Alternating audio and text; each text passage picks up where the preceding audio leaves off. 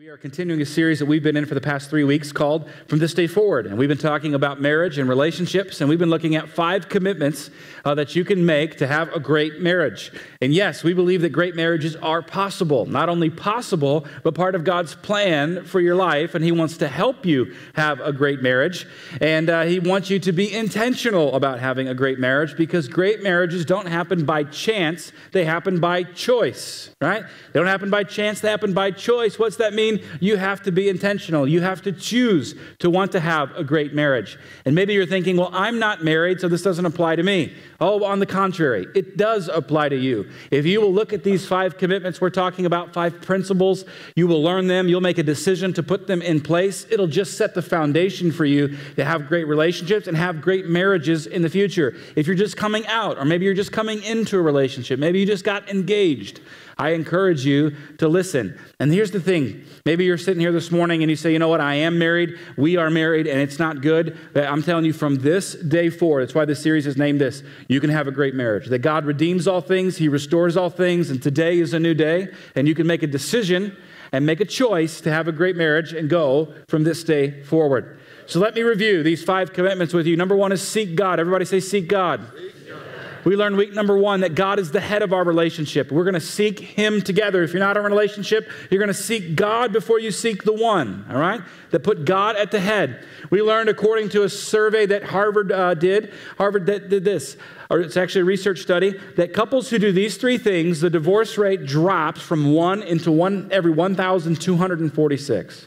The national divorce rate is one and two. This success rate, couples who do these three things, 99%. Pray together discuss the Bible together, and attend church together. Those three things, you can have a 99% shot at having a great marriage and not being a statistic. Week number two was fight fair. Everybody say fight fair. There is tension and conflict in every relationship, right? So the question is not how do we eliminate tension or conflict, but how do we do it well? Pastor Scotty Gibbons was with us and he shared some things with us. When we have conflict, we're going to assume the best. We're going to be quick to forgive. We're going to seek first to understand, then to be understood.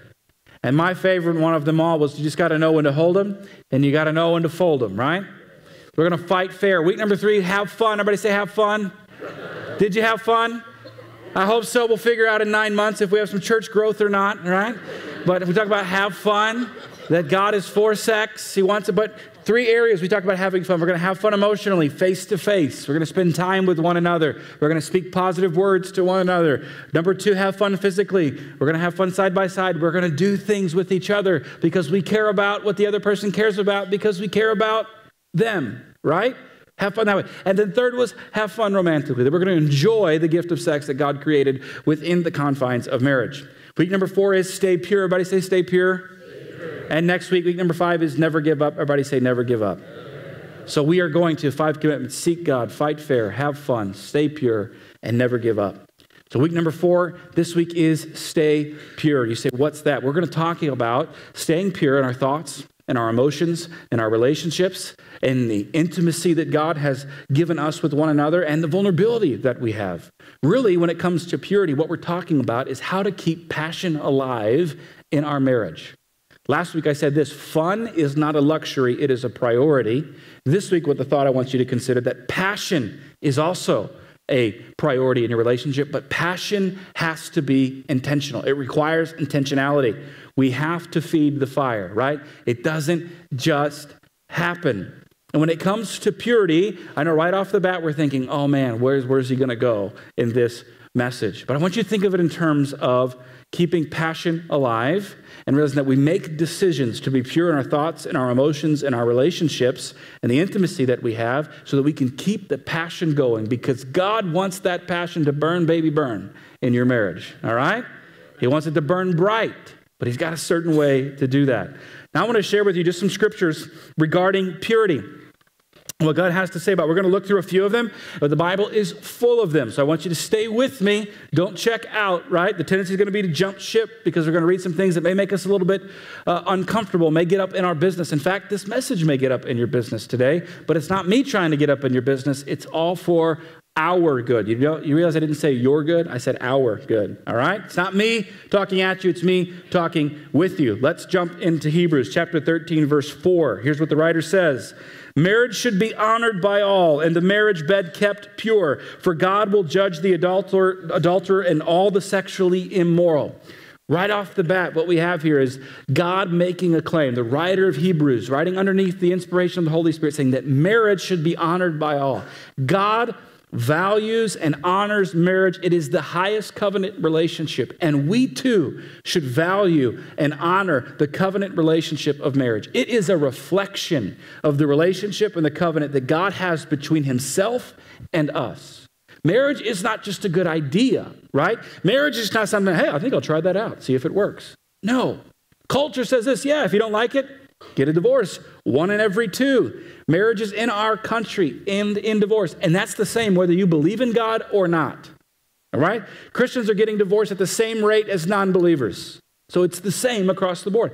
Honor that. And he says this keep the marriage bed pure. What's that? Hey, the marriage bed is the area of passion in our relationship, sexual intimacy that we have between one another in marriage. And that needs to be kept pure. It needs to have parameters built around it. It needs to be a priority. It's not something that we can just do and pursue every emotion and desire and opinion that we have. Let's go on to Ephesians chapter 5, verse 3. Here's what Paul has to say. He says, But among you, there must not be even a hint of sexual immorality. Not even a hint of sexual immorality. Those two words there, sexual immorality, in the Greek of the Bible, the New Testament was written in the Greek. The word, it's one word, and it's the word porneia or porneia, where we get our English word pornography. Now, that word doesn't mean just naked people on a screen or naked people on, a, on, on some pages. It literally means any type of, of act that is sexually immoral, pornography, sex outside of marriage, adultery, emotional intimacy that is leaning towards a sexual nature, any type of sexually immoral thing, that's what that one word means, that word porneia, where we get our, our English word pornography. Paul's saying, look, there may there cannot even be a hint of that among you. He's writing to Christians who live in this city of Ephesus. It's kind of a free society in a lot of ways, a very sensual society. Our society is the same in a lot of ways. Here's what he says in 1 Thessalonians chapter 4. He said, It's God's will that you should be sanctified. Just a big word that means you should be made like Him. We are in the process of being made like Him. That you should avoid sexual immorality. There's that word again. That each of you should learn to control his own body in a way that is holy and honorable, not in passionate lust like the heathen who do not know God. For God did not call us to be impure, but to live a holy life. What's Paul saying? Hey, look, I understand we all have urges and passions and desires. Those things, in and of themselves, are not bad, but those things left unchecked and pursued without God's standard in place can lead to destruction. And you are to learn how to channel those in an honorable and holy way, simply meaning in according to God's design for how He created it. Okay, here's Proverbs chapter 5. In fact, I would encourage each and every one of you at, at uh, some points throughout the year to break out chapter Proverbs 5, 6, and 7 and read it. It talks about uh, pursuing lust, pursuing adultery. In fact, here's what it says in, in verse 8 of chapter 5 Keep to a path far from her and do not go near the door of her house. My question, reading that at, without having understanding of it all, is like, who is her, right? Who is her?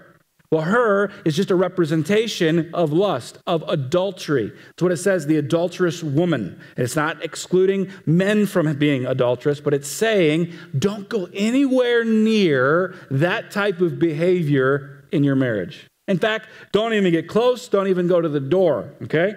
So I would encourage every one of you, it's healthy.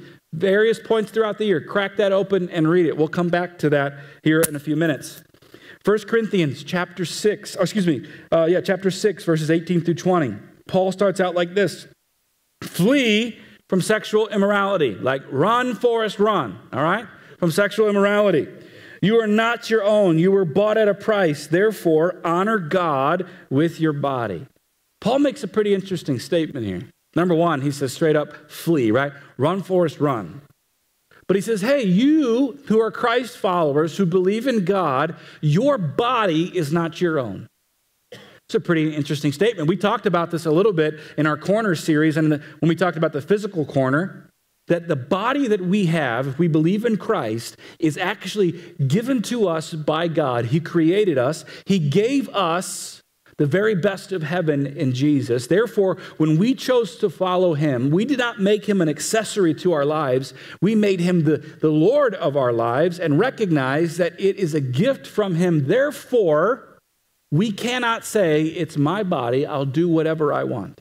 Now, if you're here this morning, you're not a Christ follower, you haven't made that commitment. You may be able to make that statement, but if you are, a believer here this morning, you have to come to terms with your body is not your own. Therefore, you do not have the freedom to do whatever you want, whenever you want, and however you want.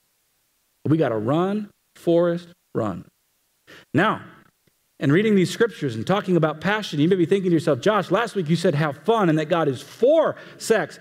Reading these scriptures makes it seem like God is anti pleasure, like God is awfully restrictive. Like, does God want me to have any fun? I see a, a paradox here between last week and this week. And I want you to know that, that God, He is for passion. God is for pleasure. The problem is, is that he makes some statements here in his word that are culturally unpopular, right? That culture looks at those and says, man, God, Christians, you just, you just don't want to have any fun. Like, you don't know what pleasure is. You don't want to have any pleasure. So whatever you say, it's just unacceptable. It's unpopular. We don't want any part of that.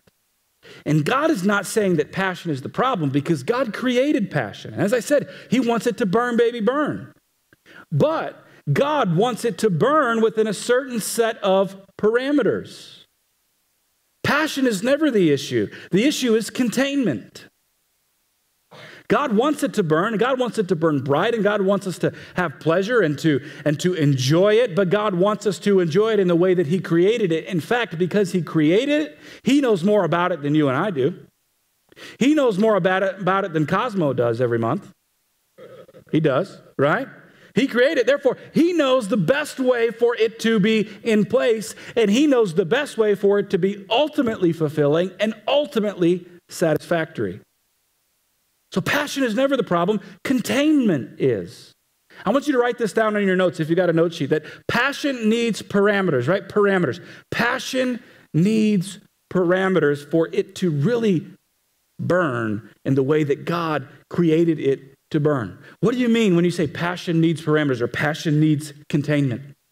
A few years ago, two friends of mine and I, we went to Kentucky and we went on a camping slash hiking trip, and it was a whole lot of fun. We got there, we drove uh, right after work and got there late at night, uh, threw up our tent, slept in like a field, and got up the next morning and, and we went hiking all day. And we were looking for a camp uh, site at this national park, and we found one, and it was an open area. And they had a, right when we, we walked down, they had this little, uh, you know, circle set up with rocks where they had built their fire, whoever was there before, and, and just an open space over here. So we set our tent up, we built a fire, we started started eating and we were just having a lot of fun talking. And all of a sudden, you gotta, you gotta remember this is like out in the middle of nowhere, Kentucky. It's like a scene out of Deliverance or something. Um, all of a sudden, through the darkness emerges this figure, and we hear, How you boys doing? like this Kentucky accent. And we're like just startled and turn around and say, well, We're doing good. He says, What are you boys doing here? Uh, camping, sir. And he's a park ranger right? He's packing heat. He's got a German Shepherd with him, and he is not playing games. Like literally, where are you from? Uh, we're, we're, from Missouri, sir. And he goes, uh, "Can I see some identification?" And so we reach in our pockets. My buddies have theirs. Mine's in the tent. So I get up. I take off running towards the tent. He puts one hand on his gun, one hand out here, lets the dog stand right there, and says, "Where do you think you're going?" I, what? My license, sir. It's in the tent. How about you just stay right where you're at? Yes, sir. I just literally sat down right where I was. Yes, sir. I'm gonna sit right here. And he proceeds to, you know, interrogate us. And finally, he says, "I bet, I guess you boys didn't see the uh, all the signs posted everywhere when you drove in that you could not build a fire unless it's in an established fire pit." I said, "Well, sir, this pit was here when we got here." He said, That is not an established fire pit. An established fire pit is put in by the Park Service, and it is metal, and he gave the dimensions and all of that, and, and it, you can only build a fire there. He said, I could give all three of you boys a ticket for not paying attention, uh, but I'm only going to give you one. Yes, sir, do whatever you need to do that doesn't involve a lot of money or jail, right? Because I got to get home. and then he proceeded to tell us, he said, We've been in a drought here. And he said, The reason why you need to have a fire in an established pit is because people like you come along, you three, and uh, you build a fire and you let it burn down and you think it's okay. And then what you don't understand is the embers or the coals are still very hot and they can actually burn into the ground and catch the roots of the trees on fire and then burn and spread into the middle of the trees and actually start a forest fire from the underground and it kills the trees from the inside out. In the same way, passion outside of parameters burns us up from the inside out. And it does it in a way that we don't even see it. In a way that we're not, we're not aware of, that it, it goes down to the root and the core of who we are, and it sets us on fire. And, and on the outside, everything looks good, but on the inside, it's, it has done a destructive job because we've taken passion outside of its parameters because we think that ultimate freedom exists within the absence of parameters. But here's the thought I want you to consider that ultimate freedom does not exist within the absence of parameters, but within the existence of parameters.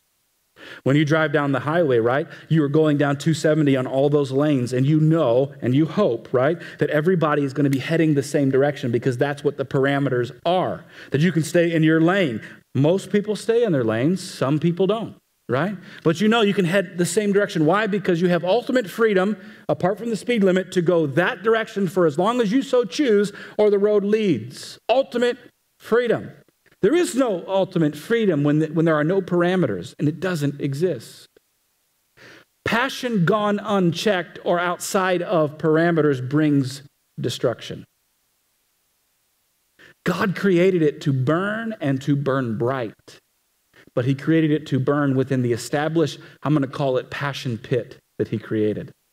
And I just want to share with you this morning, in the time that we have left, four parameters for passion in your life, really for purity in your life. I'm going to give you these four, and I want you to begin to build the passion pit in your life where it can burn, baby, burn within the context of marriage that God created it. So here's the first one, right? First one is this that we're going to make a commitment to God's standards. We're going to make a commitment to God's standards. Here's what it says in Psalms 139, verse 9. David asked this question How can a young man keep his way pure? By living according to your word, is what he says. How can a young man keep his way pure? By living according to your word. But making a commitment to God's standards, it's really a question of trust. Do I trust that God's way is the best? Do I trust that reading what I read, and although it seems restrictive, does God really want me to have pleasure? Does God really want me to have, you know, to enjoy it? And I'm not saying that God's ultimate plan for your life is pleasure because I believe that God's ultimate plan is building character in our life. But God does want us to enjoy the things that He created. So, do I trust Him that if I say no, that if I run, Forrest, run from this right here, that it's really going to turn out in my best interest? Or do I just want what I want and I want it now and I'll get it however I want? Really, you have to come to terms with this that God is the ultimate authority of your life and that He holds exclusive rights to determine the parameters. Why? Because He created it. So, God being the ultimate authority of your life, what's that look like? Let's take it just a little bit, a little bit more at home.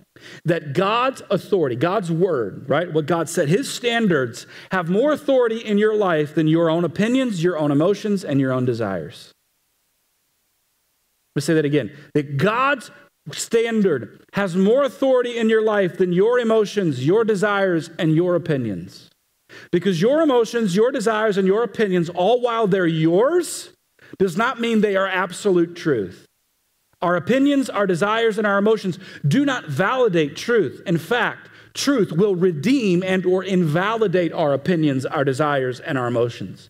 Should you feel guilty for having those? No. Don't feel guilty.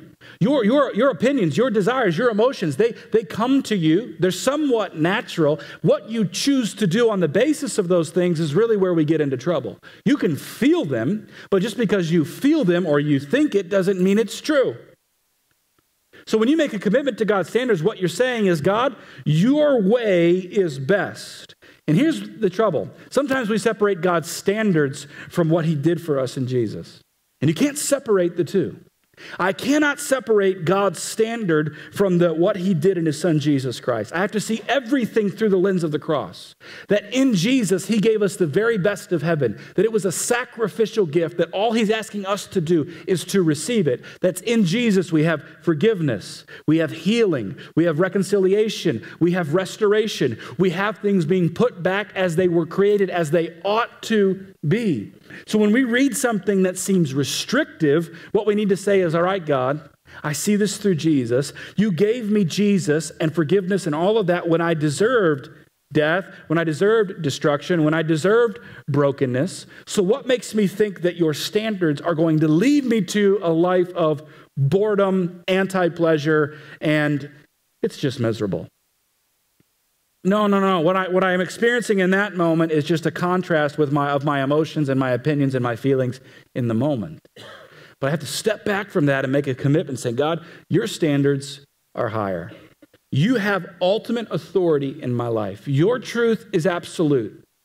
And I will let it allow it to inform my opinions, my emotions, and my desires, and not only, excuse me, inform, but redeem and change and to put back in the right way. That's the first parameter, the first wall you need to build up, make a commitment. God, your ways are higher. Your thoughts are not my thoughts. Right? And you you have my best at hand. It's a question of trust. Can you trust him? Can you trust him? Here's number two. I'm going to manage my mind. That's the second thing you can write down. We're going to manage our minds. Here's what, here's what Job says. Job says this Job 31 1. I made a covenant with my eyes not to look lustfully on a girl. Here's what David says Psalms 101 I will set before my eyes no vile thing. Managing our mind. What are these two gentlemen saying when they're writing? I think they're saying about three things or three acknowledgments. Number one, they're acknowledging that temptation exists. It exists in this world. Number two, they are acknowledging they are susceptible to it. And number three, they are acknowledging they are not strong enough in and of themselves to just run, Forrest, run to deal with it on their own. So, what's that say to us? We have to acknowledge number one, temptation in, in, this world exists. Whether you're married or not, you are tempted. There will always be beautiful people. God is not going to come down and make beautiful people ugly, okay? Right? We will always be attracted in that way. Men, we, we tend to be more attracted visually. We talked about this last week. Ladies tend to be more attracted what, emotionally, what, we, what you hear, but we all have a physical attraction. So temptation exists. And come to this reality you are susceptible to it. I am susceptible to it. We are vulnerable to temptation. No one is beyond temptation. And if you raise your hand and say, I haven't struggled with temptation in years, you're a liar. So that's your struggle. All right? Hey, I heard this story. This is a good story. I didn't say this first service. This is a good one. A pastor friend of mine uh, told me that he was sitting around a, a, a group of other pastors. He's a mentor to me, and there was a 90 year old pastor there. 90 year old. And one of the young guys asked him a question said, When did you stop dealing with sexual temptation? And the 90 year old pastor said, Son, when that day comes, I'll let you know. he was 90. All right? Some of you didn't even laugh. You just need to, you just need to, you just need to get over yourself and just laugh a little bit. 90 years old. We're all susceptible to it, and we cannot, we cannot manage it on our own. What does that mean? That means that we need to put safeguards in place. We need to have some accountability in our life. I'm not asking you to live in fear and just believing every day you're going to encounter temptation and just and fail. No, I'm just asking you to be smart. Here's what I'm asking you to do. I'm asking you to not be guilty of being stupid. My grandfather was a pastor for many years, and part of him being a pastor, he was in leadership over other pastors, and he dealt with situations where pastors had moral failures, whether they had an affair, they were addicted to pornography, they uh, messed around with the finances, whatever the case may be. And he told me, Josh, don't be guilty of being stupid. Most of these guys were guilty of being stupid. I stand before you today not as someone who says, I don't struggle with temptation. I stand before you as today as someone who's battled addiction to pornography since I was a teenager. I brought it into my marriage. I know the temptation is there. I know that I'm susceptible, and I know that I fail every time I try to do it on my own. Because I'm not, I'm not strong enough to, to rid myself of temptation and to resist at all times. You need some accountability in your life. You need to have some people who can, who can help you with that. Here's something that I do. This is just me. I meet with a pastor uh, for breakfast every Friday morning at 8.30. And we talk about a variety of things, but one of the things I did is knowing my struggles. When I got my newest iPhone, I took it to him, and uh, you can put restrictions on there. and I said, hey, I need you to, and they can put a passcode that I don't need to know, right? And make it like Fort Knox, bro, so I don't even want to know it. And I went in there and I said, here's what we need to restrict. Do, do, do, do, do, do. Some things are not bad. They just lead my mind in a place they don't need to go. And so he restricted it. And so I can't access stuff because here's what I learned uh, a while ago I'm going to stop trying to manage temptation and just eliminate it. I'm just going to stop trying to manage it and I'm going to eliminate it. What do you mean manage it? Hey, you know, it's only this. It's, it's not that big of a deal, right? Like it's, it's not like anything bad, you know. It's just it's just this, or it's only a text message. It's only a, an email.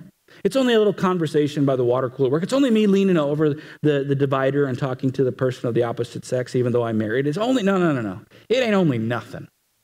It's not a little bit of nothing. It is a justification for you wanting to keep doing what you're doing. That's what it is. How do you know that? Been there, done that. Been there, done that. You say, well, Joshua, do you, are you not, are you that bad that you need someone to help you? Yes. And so are you. Yes, we all are. Come on.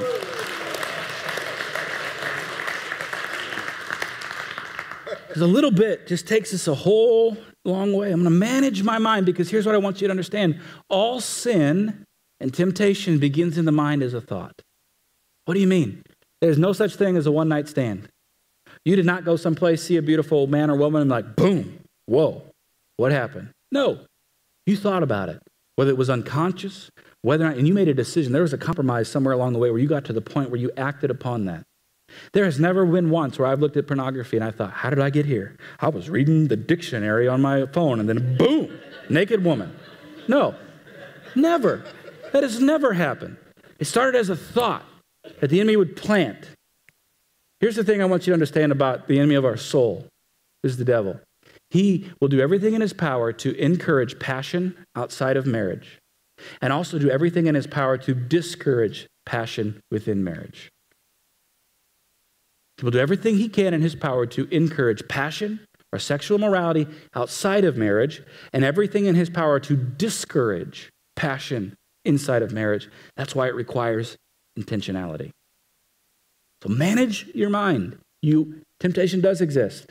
You are susceptible, and you are not strong enough on your own to deal with it. Get some accountability. Get some people who will ask you some questions that you just really don't want to be asked. But it's just keeping you within the parameter. Here's number three. Number three is this it is we're going to magnify the consequences. Magnify the consequences. Here we're back to Proverbs. I told you Proverbs 5, 6, and 7 talks about what the adulterous woman, and if you go down that, that path, it tells what's going to happen to you, what's going to happen around you, and it's never good. But here's what it says in chapter 6, verse 32. But a man who commits adultery lacks judgment. Whoever does so destroys himself. A man who commits adultery lacks judgment. I, I like the fact that Solomon, the writer of this proverb, said that the man who commits adultery lacks judgment because you know what it says? It says that we're all guilty of being stupid because here's the reality. Nobody wakes up one day and says, you know what I think I'm going to do? I think I'm going to go cheat on my wife today. And I think I'm gonna, I'm gonna get addicted to porn, and uh, I think I'm gonna try this marriage thing out just so I can get divorced. Like those are my life goals. You know, I don't know about you. If those are your life goals, if they are, come see me after service and we can talk. Right, but nobody just says, I think, I think, man, yeah, bringing total destruction to myself and my family. That, that's, that's what I want to do. No, we lack judgment. We are guilty of being stupid. We're guilty of not committing to God's standards and managing our minds. We lack judgment. It can happen to anybody. Our mind plays tricks on us. Sin will do one thing it will always seek to justify itself. And we're really good at finding reasons to keep doing what we're doing and we know we shouldn't be doing it. Well, it's not a big deal. It's like this. You don't understand. You know, we're, we're good at that, right? We can, we can play moral and philosophical gymnastics in our mind and arrive at a point where we really believe we have deceived ourselves because the mind will deceive us. Got to be aware of that. Magnify the consequences. What do you mean? I want you to rehearse the fallout. Like, well, that is dark. You know, like, Josh, these points just keep getting better and better. You know, rehearse the fallout. What do you mean?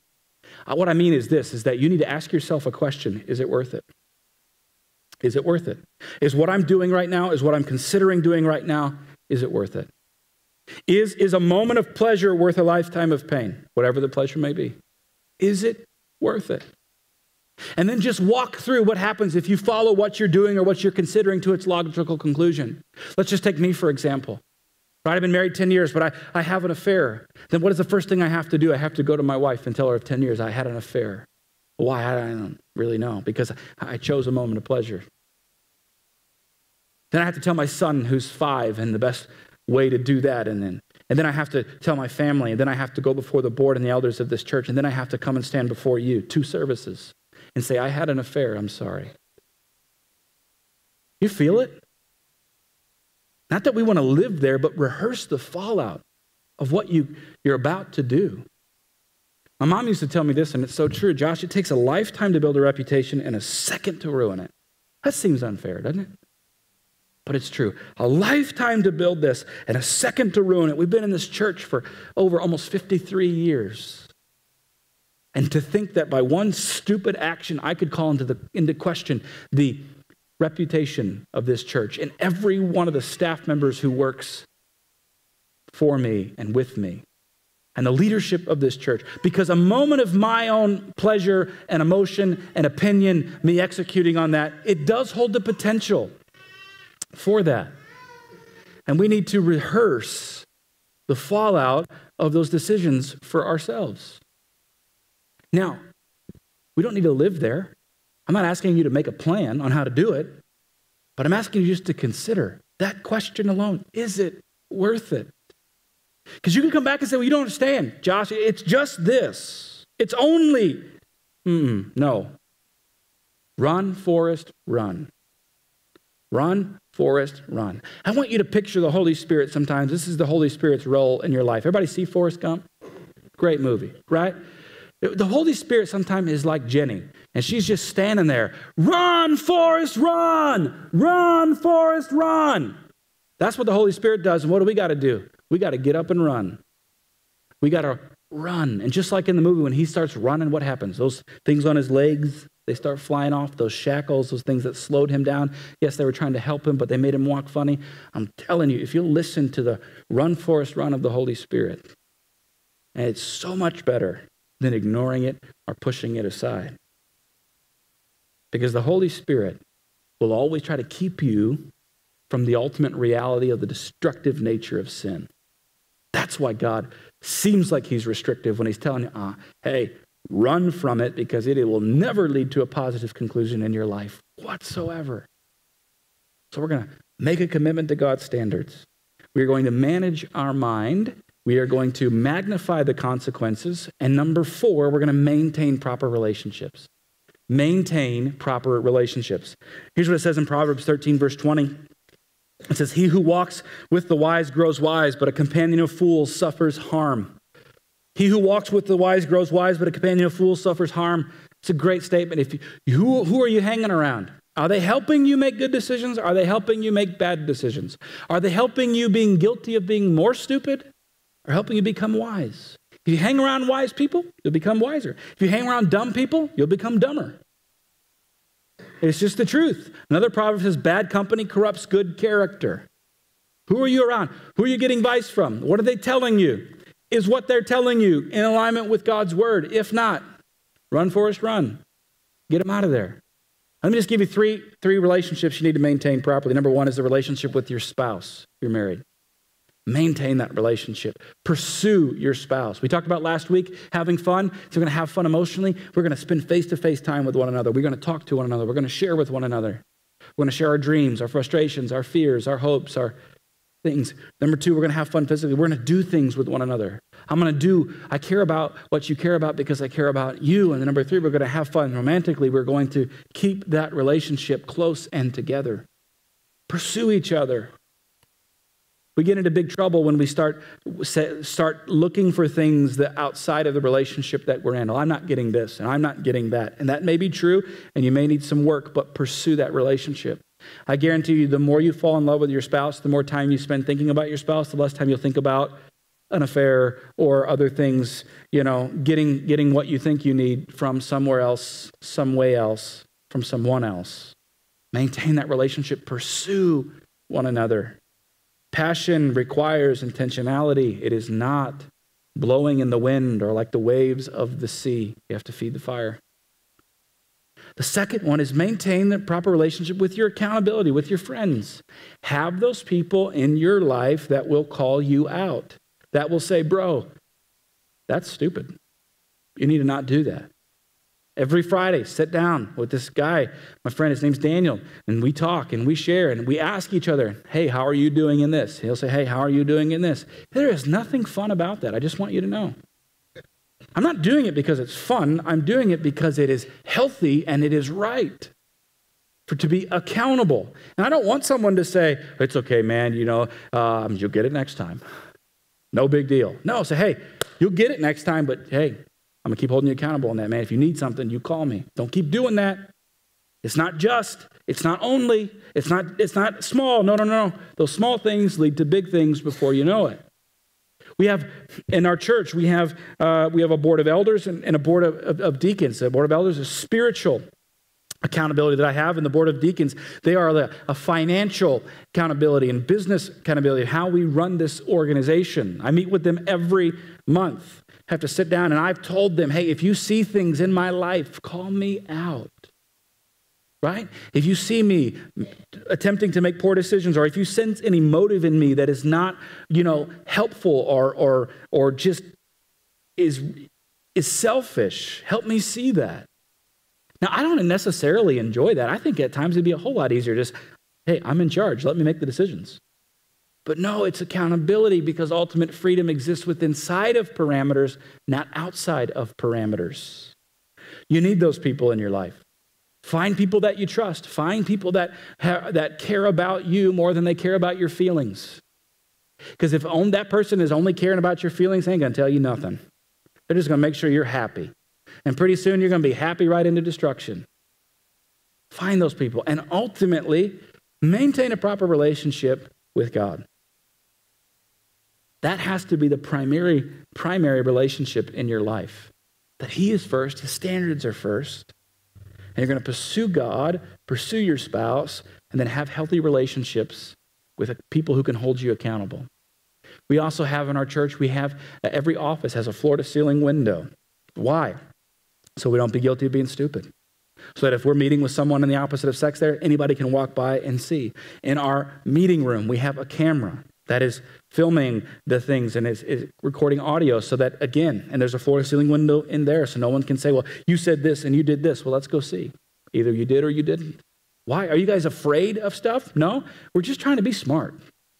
We're not leaving any room for that stuff to come in and wreak havoc like it does. And that's what I wanted you to say. Say to you, don't leave room.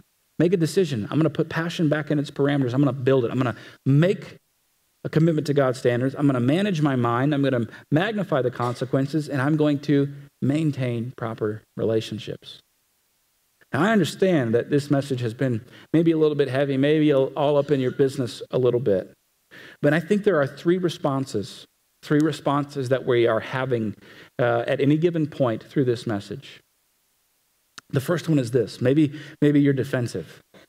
Maybe you're like, well, you, you don't know me. You don't know, man. My wife, she's mean. Uh, you, don't, you don't know my husband. He, he he's a jerk. Uh, he, he's not giving me what I need. My wife is not giving me what I need. You, you, don't, you don't know. Or, well, hey, you, you just don't understand, Josh. It's only this. It's not that big of a deal. I just want to caution you to be careful because defensiveness leads to outright rebellion where you just are justifying your sin. You're just justifying what it is that you want to do. And I understand it being defensive. I've been there. Believe me, been there, done that. Number two, maybe it's, it's remorsefulness. You're feeling remorse. What does remorse say? Remorse says this you're guilty. And you say, Yeah, I'm right. Yeah, yeah, yeah. I understand. I'm broken. I'm dirty. I'm good for nothing. I'm hopeless. Remorse just beats you down, beats you down further, and, and it doesn't help you rise up to the occasion and do what's right. It just makes you more helpless and hopeless, and you say, Well, I've already gotten this far, I might as well keep going because nothing's going to change if I turn it around. In church, we use, we use C words, two big C words a lot. We use condemnation and conviction. Condemnation comes along and it says, Yep, that's right, and you're good for nothing daddy was this way, your mommy was this way, your situation is this, you might as well, man, the cards are stacked against you. You might as well just keep going the way you're going. You'll never be good enough for anything.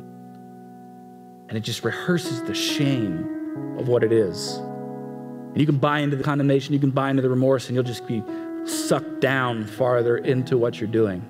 Or conviction. Conviction is the exact opposite. Conviction comes along and it says, yep, that's wrong. Conviction never compromises on the truth. It's wrong, but here's what I want you to know. Hey, you're more than a conqueror. Hey, I'll be with you to the end of this. I'll walk with you. Jesus is here for you to set you free, to forgive you, to redeem and restore. Hey, there will be some consequences for what you did, but you will rise above this. That greater is He that is in you than He that is in the world. I am for you, not against you. I'll never leave you nor forsake you. That's what conviction does. Doesn't compromise the truth but it shows you a way out. It shows you the third response and the only proper response if you really want to move beyond, and that is repentance. I understand the word repentance has some heavy, heavy meaning for some of us, but the word repentance, it literally means in the Greek, this this word metanoia, which means to change your mind. That when the Holy Spirit comes along and he says, run, Forrest, run, and maybe you didn't run, and now he's here to say, I, I told you to run, but I'm still here with you. You say, you know what, you're right and you turn, you say, What I was doing was wrong. God, I'm going to make another, I'm going to make a commitment to your standards, and you're going to walk the other direction. That's what repentance does.